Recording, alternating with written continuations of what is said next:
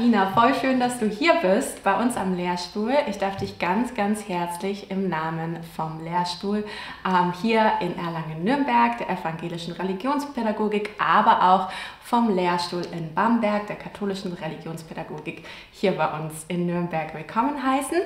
Ähm, wir freuen uns sehr, dass du hier bist und vielleicht starten wir einfach einmal mit einer kurzen Vorstellung von dir.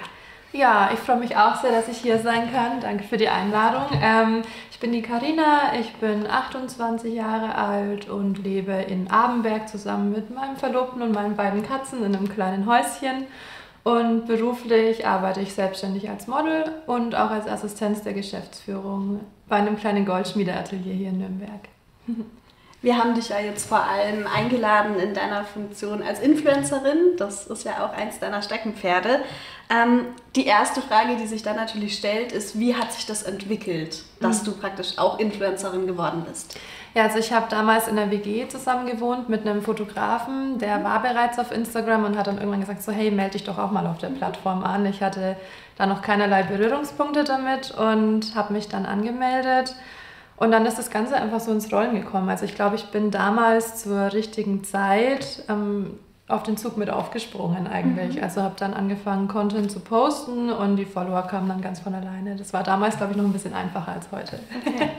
Und wenn du jetzt von dir aus selbst formulieren würdest, was bedeutet für dich denn dieses Influencerin sein? Ja, es bedeutet, also Influencer, Influenzen kommt ja von beeinflussen. Also es bedeutet für mich schon ein großes Stück Verantwortung auch zu haben, weil man hat natürlich eine gewisse Reichweite. Ähm, ich glaube aber auch schon, dass man ab 500 Personen oder ab 1000 Personen schon Leute beeinflussen kann. Ich glaube, das ist ganz unabhängig davon, wie viele Follower man letztendlich hat. Aber natürlich, umso mehr Reichweite, umso größeren Einfluss nimmt man auch mhm. irgendwo. Du hast dich ja jetzt ähm, vorderrangig als Model ähm, beschrieben und als ähm, Arbeitnehmender bei dieser Goldschmiede. Ähm, würdest du dich dann selbst überhaupt als Influencerin ähm, bezeichnen? Ja, doch schon. Also einfach ähm, aus dem Grund, dass es ja von Beeinflussen kommt und ich weiß, dass ich Leute beeinflusse. Ich weiß, dass ich vielleicht auch polarisiere, dass ich ähm, vielleicht auch mal zum Umdenken anregen kann. Ähm, deswegen würde ich mich schon als das bezeichnen, auch wenn diese Berufsbezeichnung eher negativ belegt ist in der mhm. Gesellschaft. Also wenn, wenn man das erstmal hört, dann ist erstmal so, ist sehr vorurteilsbehaftet, würde ich sagen. Mhm. Deswegen ja. Was würdest du denn sagen, was ist denn die Hauptmotivation für deinen Kanal? Also du machst es ja jetzt schon länger. Was hat dich denn überhaupt jetzt ähm, auch dazu gebracht, das weiterzumachen? Mhm. Also im Moment habe ich tatsächlich eine Social Media Pause, ist vielleicht auch ganz interessant. ähm, aber Haupt, ähm, der Hauptgrund war von Anfang an eigentlich Kunden zu generieren, zu akquirieren, ähm, Aufträge zu bekommen, sei es für Foto, Video, Produkt, äh, als auch für Laufsteg. Ähm, und hat sich dann aber im Laufe der Jahre auch so ein bisschen weiterentwickelt, ähm, so in den tierethischen Bereich, so ein bisschen, genau, das ist auch was, was mir am Herzen liegt und was ich da auch ganz gern mit einnehme. Jetzt hast du gesagt, du hast gerade eine Social Media Pause. Magst du ganz kurz äh, darauf eingehen, warum und wie es dazu jetzt gekommen ist? Ja, also ich wollte tatsächlich noch nie abhängig sein von dieser Plattform. Also es war mir wichtig, dass es nicht meine Haupteinnahmequelle ist. Also das finde ich ganz furchtbar. Also für mich persönlich einfach. Ähm, und ja, habe dann einfach gemerkt, dass mir war es die letzte Zeit einfach zu viel. Also es war zu stressig, ich hatte immer Druck, ich habe irgendwie 200 Nachrichten pro, pro, Tag im Postfach gehabt und dann kommen Leute nach drei Stunden und schreiben, wieso antwortest du nicht, wieso antwortest du nicht und das ist dann halt ganz schwierig. Also mhm. Also auch dieses sich mal zurücknehmen und dann mal sagen, okay, ich lege jetzt mal ganz bewusst das Handy weg, ich bin halt nicht ständig erreichbar. Also ist es kein 9-to-5-Job, sondern man ist dann wahrscheinlich immer irgendwie versucht, dann doch genau. das Handy irgendwie auch abends nochmal rauszuholen und ja. irgendwie ständig. zu antworten. Du hast ja vorhin gemeint, dass du dir vorstellen könntest, dass dein Kanal inzwischen auch ein bisschen polarisiert oder dass du manche Meinungen mhm. einnimmst, Haltungen einnimmst, die vielleicht nicht ganz so ja, gängig sind. Ähm, und du hast gesagt, das hat sich ein bisschen geändert. Von einem eher kommerziellen Nutzen sozusagen hin auch zu einer ethischeren Verantwortung. Mhm. Was sind denn deine Hauptthemen für deinen mhm. Kanal? Mhm. Früher gewesen und jetzt? Also natürlich jetzt hat schon auch immer noch Aufträge zu generieren. Mhm. Das ist schon wichtig. Ähm, ohne Social Media geht mhm. das gar nicht bei mir tatsächlich. Ähm, aber natürlich dann auch die tierethischen Aspekte. Also ich sehe mich auch als Tierrechtlerin mhm. und ähm, ja, lasst es schon mit einfließen. Und das kommt aus einer persönlichen Überzeugung, dann genau. hast du gemeint. Ja. Okay. wenn du jetzt irgendwie konkret die Themen deines Kanals benennen müsstest, mhm. die jetzt momentan, gratis Pause, mhm. aber die sonst praktisch deinen Kanal dominieren oder wofür du deinen Kanal nutzt, was wären das dann? Also Tierethik hast du Genau, das wäre dann das und Modeln, mehr ist es tatsächlich okay. gar nicht. Alles genau. Also ich nutze es eigentlich mehr privat mhm. für mich. Also schon auch beruflich natürlich, aber ja. ich lasse das schon auch im private im Alltag irgendwie ein bisschen mit einfließen. Oder? Okay. Und du hast ja eben jetzt auch schon angesprochen, eben Aufträge generieren, klar, ist wichtig. Ähm, gibt es Kooperationen, die du abgelehnt hast? Mhm. Ja, definitiv. Okay. ja, also ja. Ähm, das ist tatsächlich, also was ich nie machen würde, ist irgendwie Alkohol bewerben mhm. oder Zigaretten bewerben oder Produkte mit tierischen Inhalten mhm. bewerben. Also tatsächlich, das käme für mich jetzt einfach nicht in Frage. Das passt nicht zu mir, mhm. passt nicht zur Person und auch nicht ähm, zu dem, was ich eigentlich vermitteln will. Mhm. Ähm, daher habe ich da auch schon was abgelehnt. Okay. Und wie entscheidest du, ob du eine Kooperation annimmst? Hast du da irgendwie, keine Ahnung, für dich eine Checkliste im Kopf oder geht es wirklich ums Produkt? Du schaust dir das an, was steht dahinter? Mhm. Wie, wie läuft das? Genau, also Kooperationen nehme ich ganz gerne an, wenn sie natürlich auch ein bisschen Eigennutzen haben. Ja. ähm, oft sind es äh, Restaurantbesuche mhm. oder sind es Hotelbesuche mhm. mal. Ähm, oder ja, also alles, wo ich sage, Mensch, das könnte irgendwie cool sein, das mhm. schaue ich mir ganz gern an. Man kriegt natürlich, und das ist auch ein Vorteil Produkte zugeschickt, mhm. ähm, die man sich dann anschauen kann. Ich persönlich möchte keine Rabattcodes verteilen. Mhm, also das okay. passiert vielleicht zweimal im Jahr, dass ich meinen Rabattcode habe oder so, aber dann auch eher für Sachen, wie zum Beispiel, wie zum Beispiel bei uns jetzt im Verein irgendwie ein Merchandising mhm. oder sowas was eigenes. Da habe ich dann meinen Rabattcode oder so, aber sonst mache ich das eher ungern. Mhm. Ähm, ich möchte auch kein Geld, also ich möchte die Produkte schon haben, finde ich halt ganz, mhm. ganz cool eigentlich, auch mal was auszutesten. Ähm, habe aber auch schon mal was eher negativ bewertet. okay. Auch, ja. Das heißt, du verstehst dich in der Rolle, dass du dann vielleicht eher eine Empfehlung gibst für eben, was du jetzt gesagt mhm. hast, ein Restaurant, ein Hotel, aber weniger die klassische Werbeaktion genau. mit, dann gibt es da die 20% mhm. oder hier den mhm. Code dafür. Mhm. Spannend, okay. Ja. Ja, du hast jetzt gerade deinen Verein angesprochen. Vielleicht magst du zu dem einmal ganz kurz was auch sagen. Ja, genau. Das ist äh, äh, ja, ein Tierschutzverein, der wurde 2021 im Oktober gegründet. Das ist äh, auch ein Lebenshof. Da haben wir mittlerweile um die 130 äh, geretteten ehemaligen Haus- und Nutztiere, die dort leben. Und ja, den habe ich mit begründet im Oktober, war aber vorher schon privat geführt von der Familie Ritzinger, die dort eben lebt. Genau, der, irgendwas mit Bullabü. Bullabü, genau. genau. Ja. ja, schön. Ähm, was macht es jetzt, das klingt ja schon so schön, was macht es denn für dich ähm, schön, auch Influencerin ja. zu sein? Also natürlich, dass man ähm, viel beeinflussen kann auch, mhm. dass ich Menschen, also ich habe auch schon Menschen zum Umdenken angeregt, ähm, habe schon viele Tiere über Instagram retten können. Mhm. Ähm, also das ist schon, wenn man es richtig nutzt, was Positives mhm. auch. Ähm, also das ist schon. Wie äußert sich dann die Resonanz? Also schreiben dir dann auch also fremde Personen Accounts, hey, du hast mich total inspiriert. Ja, ähm, mhm. ja? ja kam vor. Schön. Was ist, ähm, hast du vielleicht so eine, eine Sternstunde, einen ganz besonders schönen Moment? Also ich finde die tatsächlich immer alle schön, wenn ich solche Nachrichten bekomme, weil mhm. ich mir dann denke, ja, und deswegen mache ich das Ganze. Mhm. Also nicht nur deswegen, sondern natürlich will, will ich auch Aufträge und so. Ja. Ne? Es ist natürlich eine Selbstvermarktungsplattform in erster mhm. Linie erstmal. Ne? Also ich vermarkte mich natürlich trotzdem auch selber, ähm, aber ansonsten sind das schon immer die schönen Momente, wo man sagt, ja, okay, da hat jemand so ein bisschen das eigene Konsumverhalten vielleicht überdacht. Mhm. Und ja. Schön. Versuchst du auch immer, also du hast ja vorhin gesagt, diesen 200 Nachrichten dann auch tatsächlich persönlich zu antworten? Ja. Wow. Wahnsinn. Und das, okay. ist, das war mir tatsächlich eben jetzt in den letzten Monaten zu viel, mhm. wo ich gesagt habe, ich brauche jetzt einfach mal einen Cut, weil dieses ständige Fordernde, also ich glaube, die Menschen verstehen das gar nicht, wenn dass da so viel reinkommt, das wissen die ja gar nicht. Mhm. Also und das sehen die vielleicht auch gar nicht. Und dann, ja, wenn du natürlich dann trotzdem einen Hauptjob hast und da woanders einfach noch eine Vollzeitwoche hast, dann geht das gar nicht. Ja, ja, das äh, leitet eigentlich perfekt über zu der Frage, was macht es denn schwierig, mhm. äh, Influencerin zu sein? Ja, genau das. Also dieser ganze Druck, ähm, natürlich da immer präsent sein zu müssen, immer ähm, ja, da ähm, Content liefern zu müssen, auch in irgendeiner Weise. Hm, natürlich hat man auch den Vergleich dann mit anderen, ja, die sind schon viel weiter und sowas. Aber das ist ja trotzdem immer was, wo ich eigentlich gesagt habe, das möchte ich gar nicht so wie die das machen. Das heißt, du passt jetzt quasi eigentlich ein bisschen so auf ja. dich auf und sagst für dich mhm. gerade, okay, hast du eine, ähm, hast du es jetzt ähm, definiert, wie lange jetzt deine Social Media mhm. Pause gehen soll? Ja, bis April habe ich es okay. noch nicht definiert. Okay. Also der ganze März ist erstmal ja. noch ähm, Stille und dann lege ich wieder los. Also ist mir dann auch tatsächlich egal, ob dann da mal 200, 300 Leute dann einfach entfolgen.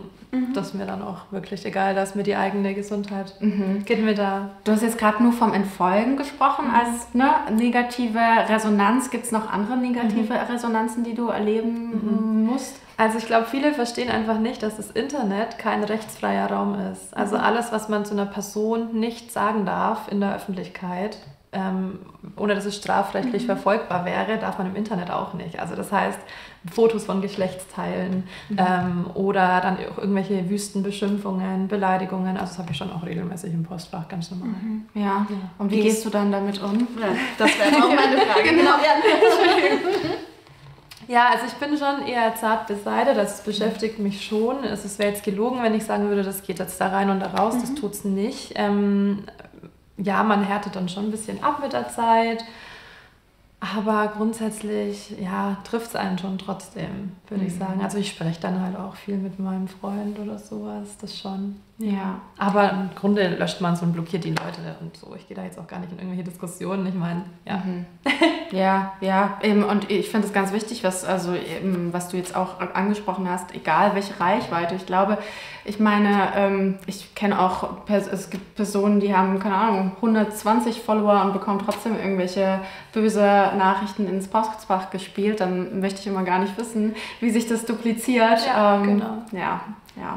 Kannst du dir vorstellen, was Leute dazu bewegt, wirklich in Anführungszeichen eine böse Nachricht mhm. zu schicken? Weil du sagst ja, ne, du freust dich auch eben genau über den Austausch, ja. über dieses Nahbarsein. Das ist ja was, was du auch für dich eben gerne machen möchtest. Ich stelle mir diese Frage oft, woher kommt diese Aggression? Warum muss man jemandem jetzt so eine Art von Nachricht schreiben? Nichts Positives, ja. sondern ein Angriff.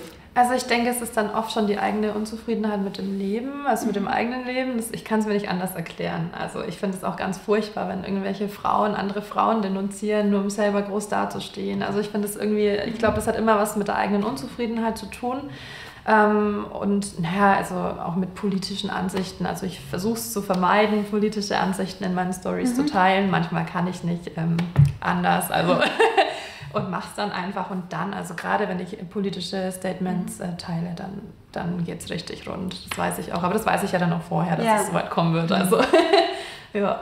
Du hast also mit der Zeit, würdest du sagen, schon auch bestimmt ein Gefühl dafür entwickelt. Oder wenn du diesen und diesen Content postest, dann kriegst du vermutlich eher dieses Feedback oder eher dieses Feedback. Ja.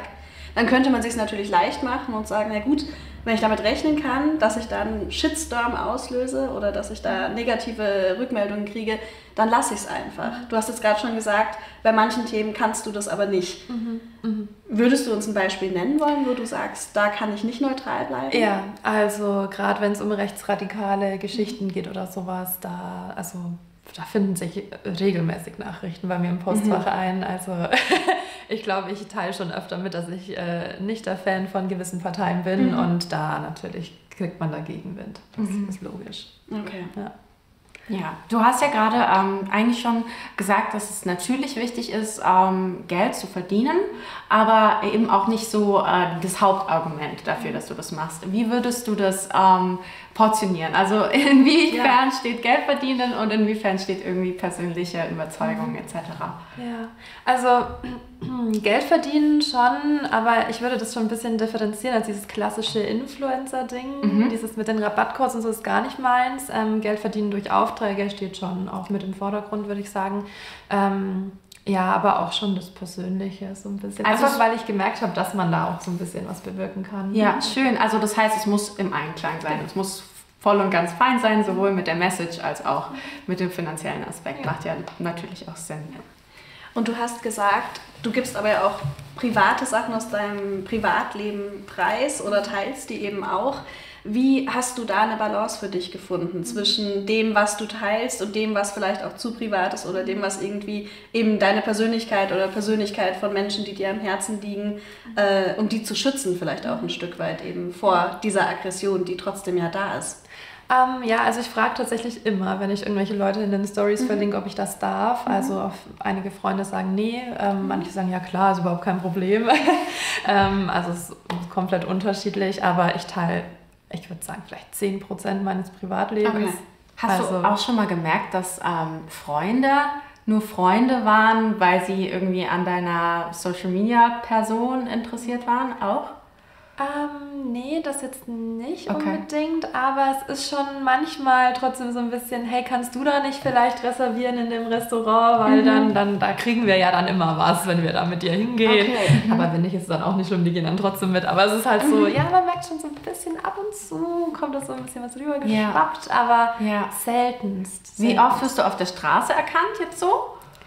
Nicht so häufig tatsächlich. also ähm, ich bin in Nürnberg schon, also gerade mit den Kooperationspartnern, das mhm. sind viele Restaurants oder sowas, ja, da, da kennt man mich schon, wenn ich reinspaziere. Ab und zu mal ganz selten. Mhm. Mhm.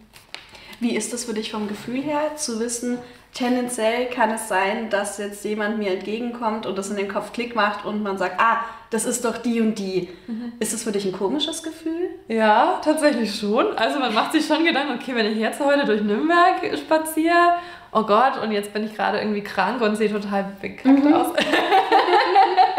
und gehe dann da spazieren. Hoffentlich erkennt mich keiner. Mhm. Kapuze tief ins Gesicht mhm. und hoch den Reißverschluss. Ja, ein bisschen verstecken ist es manchmal. ja, doch, tatsächlich schon. Hast du die Erfahrung gemacht, du hast gemeint, eben du fragst eben immer, ob jemand auftauchen möchte sozusagen oder nicht. Hast du die Erfahrung gemacht, dass sich Leute zurückgezogen haben, weil du diese Art von Weg gewählt hast von dir? Nee, eigentlich auch nicht. Also weder in die eine Richtung jetzt, nee. dass, dass Leute plötzlich mehr Interesse hatten, noch dass ich welche jetzt aktiv rausgezogen ja. habe. Also ich glaube, wenn man mich persönlich kennt, mhm. dann passiert das eigentlich nicht. Okay. Ähm, ja. Es ist eher andersrum, wenn man mich persönlich erstmal nicht kennt ja. und erstmal nur das Bild von mir ja. auf Social Media hat, dann kann es vielleicht sein, dass man am Anfang so ein bisschen, oh Gott, die ist bestimmt total arrogant und die ist total eingebildet mhm. und oh Gott, die denkt, die ist was Besseres. Also schon sehr, also ich werde oft vorher schon in Schubladen gesteckt. Mhm. Aber ich glaube, die Personen, die mich so kennen, wie ich bin, wie ich, ja, ja, das glaube ich passiert dann nicht so schnell. Und ertappst du dich dabei, dass du, dass dir das bei anderen vielleicht auch passiert, dass man eben einen anderen Influencer oder auch einfach einen privaten Kanal sieht und auch in dieses Schubladendenken deswegen abrutscht? Passiert mir tatsächlich gar nicht so, weil ich, äh, weil ich einfach weiß, dass es gar nicht so ist vielleicht. Weil also. du diesen Einblick hast, wie, ja. eben wie du auch schon sagst, vielleicht sind es 10% von, von der Person, die es mhm. eigentlich ist oder ja. eben auch in, in einer Selbstvermarktungsrolle mhm. sozusagen. Genau, ja. Da lässt sich, finde ich, der letzte Teil unseres Interviews eigentlich perfekt dran anschließen.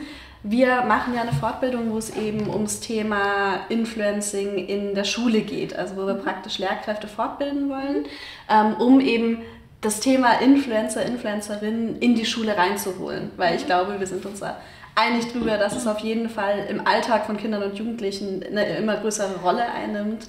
Ähm, wenn du dir vorstellst, du hättest selber Kinder, die vielleicht im Grundschulbereich sind, sechs mhm. bis zehn vielleicht vom Alter her, was wäre dir wichtig, dass diese Kinder lernen über eben das Influencer-Sein? Mhm. Ja, also ich bin ja tatsächlich Erzieherin, mhm. ausgebildete und Sozialpädagogin. Also habe ja letztes Jahr meine Bachelorarbeit geschrieben in dem Bereich, deswegen kenne ich mich auch mit den, mit den Gruppierungen ganz gut mhm. aus. ähm, also gerade so ja, sechs- bis zehnjährige Kinder sind natürlich vulnerable Gruppen, die da stark beeinflussbar sind noch. Ähm, da finde ich, es ist eine der größten Herausforderungen unserer Zeit, ähm, zu sagen, Erziehungsbeauftragte, aber auch Lehrbeauftragte, pädagogische Fachkräfte da an der Stelle anzuknüpfen und zu sagen, wir müssen Aufklärungsarbeit leisten. Mhm. Das muss schon viel früher beginnen. Ich habe jetzt keinen Einblick in, den aktuellen, in die aktuelle Schulsituation, aber ähm, grundsätzlich glaube ich, dass da noch viel zu wenig getan wird dafür, weil das ist schon gefährlich teilweise. Also gerade wenn man schaut, was da mit irgendwelchen Bearbeitungs-Apps oder so passieren kann. Man kann mittlerweile Videos so bearbeiten, dass die Person 20 Kilo leichter aussieht oder so. Also das finde ich schon stark gefährlich. Also praktisch vor allem der Aufklärungsaspekt, genau. der dir wichtig wäre. Ja. Oder auch einfach zu sagen, das ist nicht immer das reale mhm. Leben. Den Personen geht es auch mal schlecht. Mhm. Also das sind auch nur Menschen und denen geht es auch mal schlecht. Das zeigen die vielleicht einfach nur nicht so. Ähm, ja, oder zu sagen, Mensch, die, die bekommen Geld für die Produkte mhm. vielleicht, die sie bewerben. Vielleicht ist da auch nicht immer so alles wahr, mhm. was da gesprochen wird. Mhm. Also, dass man da die früh an die Hand nimmt, auf jeden Fall. Und wenn man das Ganze auf das Teenageralter erweitert, also dann eben mhm. klassisch 13 bis 17, 18, würdest du sagen, da muss es fortgesetzt werden oder gibt es da vielleicht nochmal einen anderen Fokus, den du wichtig fandest?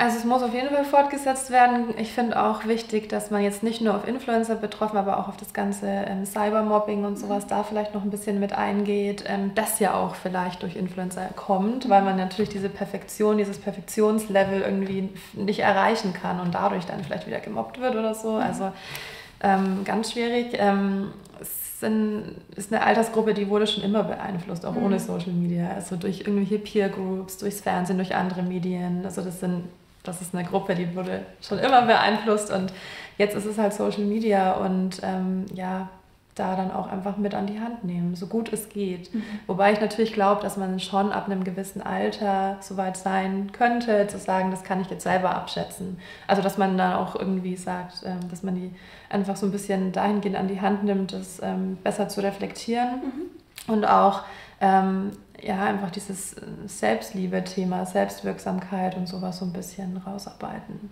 Hast du das im Kopf, wenn du über deinen Content nachdenkst oder wenn du planst, was, was du postest, was du teilst? Hast du da diese Verantwortungsposition für dich im Kopf? Ähm, jein, würde ich mhm. sagen. Mhm. Nicht immer. Aber ich ähm, würde es jetzt deswegen auch nicht einschränken. Also mhm. ich ähm, weiß, dass es eben vorurteilsbehaftet ist. Ähm, ich zeige mich ja auch freizügig. Das mhm. ist ja was, was andere vielleicht auch wieder beeinflusst, aber es gehört zu meinem Job. Mhm. Und das ist äh, in jedem Aldi-Katalog, wenn man aufschlägt, das sind auch freizügige Personen. Das ist einfach mhm. ein, Berufsfeld, in dem das so ist. Und das würde ich deswegen jetzt nicht einschränken, mhm. zum Beispiel. Mhm. Wo siehst du vielleicht nochmal, du hast ja vorhin gesagt, ähm, diese Peer Group, äh, vor allem die Jugendlichen 13 bis 19, sind ja immer besonders an, anfällig für, ähm, für Beeinflussung. Ist ja auch ganz äh, entwicklungs, ähm, entwicklungsethisch ganz wichtig. Ähm, was würdest du sagen, dass äh, Social Media nochmal mit in den Raum bringt, anstatt von jetzt Fernsehen oder Magazine, mhm. sondern mhm. jetzt eigentlich Social Media als, als die neue Beeinflussungsplattform?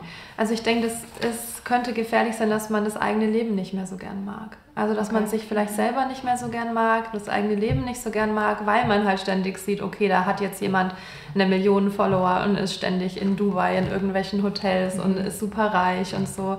Und dass man, man auf sein eigenes Leben schaut, dass man dann sich vergleicht und sagt, Mensch, das, das wieso habe ich das nicht? Was, wieso hat die das? Mhm. Was bräuchte es dann für dich in Schulen, speziell in der Fächerkombination Religion und Ethik, ähm, an Lehrplaninhalten, die dann drauf ja, kommen müssten, dass ähm, Kinder und Jugendliche eben nicht so denken?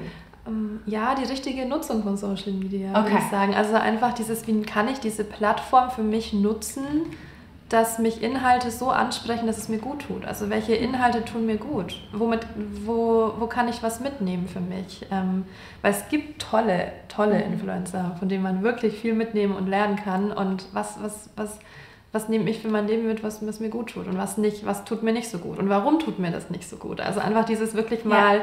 ins Kleinste aufteilen. Ja. Und, und warum ähm, postet die Person das vielleicht? Und was ist daran vielleicht gar nicht so realistisch? Ja. Oder selbst wenn es realistisch ist. Es gibt immer Menschen, die haben was Tolleres und was Besseres. Aber wo kann ich in meinem Leben schauen, was ist da vielleicht auch toll? Und was hat die dann vielleicht nicht, ja. was ich habe? Ja. ja. ja. Du hast jetzt vorhin eigentlich schon angesprochen, ähm, dass du ähm, schon eine besondere Verantwortung ähm, zwar nicht immer empfindest, aber irgendwie dann doch immer im Hinterkopf hast. Ähm, für welche Werte, wenn, wenn du es jetzt einmal nur zusammenfassen müsstest, stehst du dann? Ich würde sagen, die Gleichwertigkeit allen Lebens, also sowohl Tiere eben als auch Menschen. Also es soll sich jeder so fühlen, wie er das möchte. Es soll jeder das tun, was er möchte. Mhm. Und das ist das, was ich auch tue. Ich weiß, dass es heutzutage in der Gesellschaft noch schwierig ist, als Frau das zu tun, was man will, ohne dafür verurteilt zu werden. Mhm. Ähm, das ist schade. Ich mhm. versuche es trotzdem für mich zu machen. Also mhm. ich möchte mich da nicht einschränken. Ähm, und ja, dass einfach ja, alles sich auch wohlfühlen bei mir auf dem Account. Also da, da ist jeder willkommen, egal wie er aussieht, egal ja, wie er sich fühlt eben. Ähm, was ich halt nicht mag, sind halt menschenfeindliche Sachen. Das heißt Rechtsradikalismus oder auch LGBTQI-feindliche Äußerung oder sowas, mhm. das blockiere ich direkt. Ja, ja. Und wenn du jetzt praktisch nochmal diese Warnungen im Kopf hast, die man ja vielleicht, hast du ja vorhin auch schon gesagt, öfter von vielleicht sogar ein bisschen eher der älteren Generation, aber ja auch von vielen aus unserer Generation mhm. inzwischen hört, eben von dem Konsum von Social Media oder dem übermäßigen Konsum vielleicht von Social Media. Kannst du das nachvollziehen, dass teilweise vor den Plattformen gewarnt wird, von der Auswirkung gewarnt wird? Definitiv, ja. Also kann ich auf jeden Fall nachvollziehen. Da ist auch sicherlich viel Wahres dran. Mhm. Und wenn du jetzt hörst, ein Kind oder ein Teenager möchte selbst Influencer werden. Was sagst du? Also ich kann den Wunsch tatsächlich verstehen, weil man natürlich sieht, Mensch, die haben ja so ein tolles Leben und sowas, aber ja, ich möchte, ich würde da auch erstmal niemanden die, die Träume oder die Wünsche schlecht mhm. reden. Also das mag ich gar nicht, wenn man erstmal sowas klein mhm. hält. Man darf das auch wachsen lassen. Mhm. Aber ähm, ich finde, also ich persönlich habe das ja auch so für mich entschieden. Ich, es ist kein Plan A für mich. Also ich habe ähm, es war immer mein Plan B vielleicht, mhm. aber Plan A war was anderes. Einfach weil ich davon nicht abhängig sein möchte und weil ich weiß, wie viel Arbeit das bedeutet. Und das ist auch, glaube ich, das, was die ältere Generation so ein bisschen vor, Vorurteil hat, ja, such dir mal einen richtigen Job oder mach mhm. doch mal was Richtiges. Aber es ist unwahrscheinlich viel Arbeit, das unterschätzt man einfach. Ähm, ab einer gewissen Followerzahl sicherlich nicht mehr so viel, weil da wird einem dann alles hinterhergeschmissen. Aber sich das aufzubauen, ist, ein, ähm, ist eine Arbeit. Und ähm, ich würde raten, da immer auch trotzdem zu sagen, Mensch, mach eine Ausbildung, mach irgendwie einen Schulabschluss, mach ein Studium, dass du ähm, dir nebenbei das vielleicht aufbauen kannst oder es mhm. versuchen kannst. Und äh, wenn es klappt, gut.